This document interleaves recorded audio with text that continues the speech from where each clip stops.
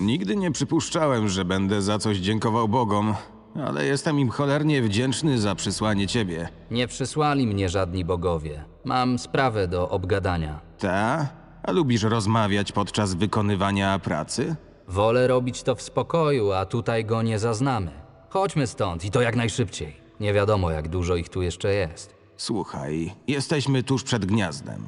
Jeśli teraz zrezygnujemy, pełzacze znowu się tu okopią i będziemy musieli całą robotę wykonywać od nowa. Ale będziemy żywi. Właśnie takiego cię potrzebuję. Młody, nie bądź dudek.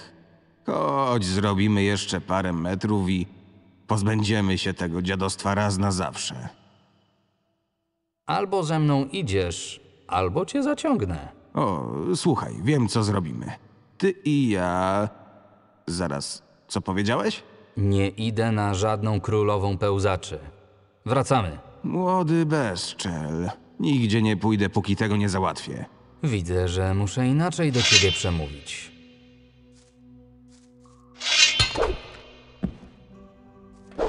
Nie masz ze mną najmniejszych szans. Zapamiętaj to sobie. A teraz się ogarnij i wstań. Mamy kopalnię do odbicia.